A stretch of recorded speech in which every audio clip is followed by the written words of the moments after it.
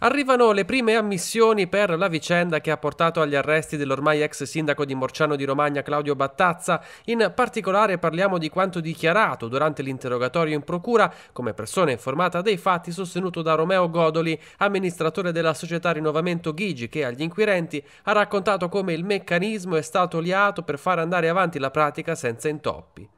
Ci si riferisce alle presunte false sponsorizzazioni che l'azienda ha firmato per un importo di quasi 400.000 euro in tre anni.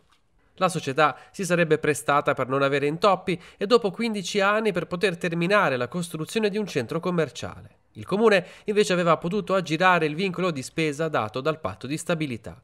Secondo gli investigatori della finanza, sono proprio le condotte persuasive a sottoscrivere il falso contratto di sponsorizzazione a configurare il reato per battazza, mentre il privato, cioè la società Ghigi, l'avrebbe fatto con il miraggio di sconti e vantaggi nelle pratiche edilizie in corso.